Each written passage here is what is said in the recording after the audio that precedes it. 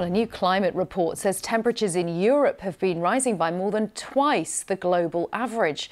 The World Meteorological Organization says this means alpine glaciers are receding and Greenland's ice sheet is melting, contributing to rising sea levels. Its report says communities will continue to be hit by exceptional heat, wildfires and floods. Azadeh Moshiri has more. This year's extreme weather was a reminder that global warming is happening and it's accelerating. That's something scientists keep warning us. But now a new report by the United Nations says one region is warming faster than others Europe. So we often and rightly hear in conversation or communication about climate change about the 1.5 degree global temperature limit as set out in the Paris Agreement. But we must not forget that Europe actually warms faster than this, faster than this global average. Europe has warmed at more than twice the global average over the past three decades. Its average temperatures have risen by 0.5 degrees Celsius per decade, and the consequences have been severe. Last year, half a million people were directly affected, and hundreds were killed. It caused more than $50 billion in economic damage. There are a number of reasons why Europe's cities have now been dubbed heat islands. Land warms faster than the sea, and Europe has lots of it. Another is that the highest regions of the globe are quickly heating up. So the UN said even though Europe is making good headway in cutting emissions, it needs to do more to stop its rivers from drying up and to prevent floods that swallow up entire roads. Even if we get it down to zero emissions and we can limit it to two, we're looking at conditions that are going to be a lot more extreme and we're going to have to live with that. So, building resilience into our communities, all those hard lessons we're learning through COVID and all the other terrible changes we're seeing, that's going to become the new norms. The UN's climate conference COP27 is only days away. This report is a reminder of why scientists call climate change a crisis. Azadeh Moshiri, BBC News. Let's talk to Professor David Karoly, a climate scientist at the University of Melbourne, who also serves on the Climate Council, a climate change communications organisation in Australia. Professor Karoly, thank you for talking to us. I wonder how much, if any of this, is, is surprising to you. Look, it's not really surprising at all because it's more a continuation of the trends that we've seen over the last 20, 30 years. And it's very much the case that ongoing global warming will continue for well into the future unless we very rapidly reduce our greenhouse gas emissions. So I gather that uh, Europe's rate of warm warming is, is similar to that of Australia where you are. Why do we see this, uh, this variation, Europe warming by more than twice the global average? Look, the reason, part of the reason we see that is because land warms up faster than the oceans. And so the global average temperature is the average of the land and the oceans combined. Oceans warm up much more slowly than land temperatures.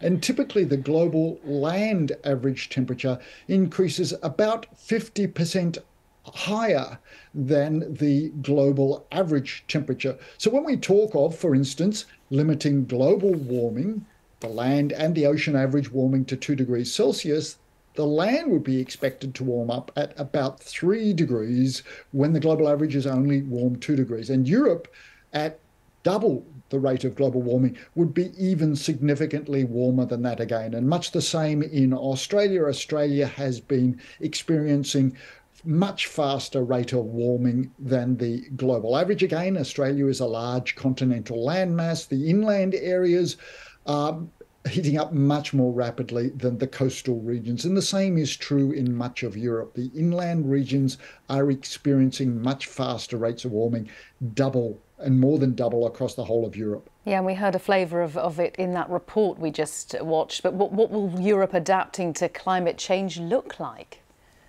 That's a really tricky question because there are many different things that you know, climate change is going to lead to uh, rapid increases in heat waves on land, and that will have many impacts on ecosystems, on cities, on people, on human health, as well as leading to increases in bushfires. And adaptation to that means many different things in different regions. We're also seeing substantial increases in the magnitude and intensity of extreme short term rainfall. One hour and one day rainfall extremes are increasing rapidly as well, and that's leading to increases in flooding in Europe, and that's been experienced. Both the extreme temperatures and flooding have been experienced in different parts of Europe in this most recent summer. And in fact, the analysis that the World Meteorological Organization released is only up till the end of 2021 and doesn't really include the increases and the, the, extreme events that have been experienced in 2022 across many parts of Europe. Uh, just time to ask you briefly uh, the COP27 climate summit's almost upon us in Egypt. I wonder what you're expecting from that. And do you get a sense of urgency among those attending, particularly given all the challenges the globe's facing right now, aside from climate change? Yeah, look, the COP27 meeting will start next week uh, in Egypt. There are many important matters. It's clear that the commitments from all countries around the world are not yet sufficient in terms of emission reductions to limit global warming to well below two degrees of Celsius or to even approach the limits that are required for one limiting warming to one and a half degrees. So much stronger action is needed to limit global warming. And that action is needed not just in Europe, but across all countries. Australia has increased its commitments for emission reductions when the new government was elected earlier this year.